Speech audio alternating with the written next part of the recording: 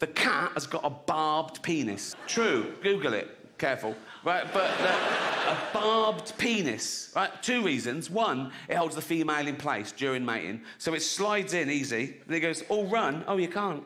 Uh. And two, when it withdraws, that pain causes the female to ovulate.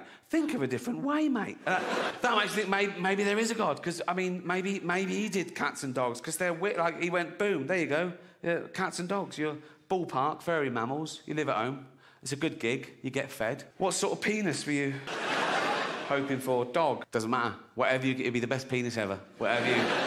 Just something that matches my onesie. Just a little. Uh, a little, maybe a little furry mound. Something lady dogs would like. A little furry mound with a little pink lipstick in it. A little furry lipstick. Good choice. Cat, give me a fuck stalk with hooks.